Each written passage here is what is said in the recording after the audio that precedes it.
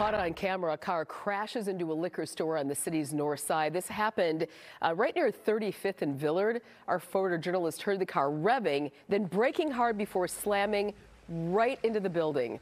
The store owner tells us the woman driving the car ran inside the store, told him she doesn't have insurance and she's not going to be paying for the damages. She then abandoned the car, which, by the way, had no license plates.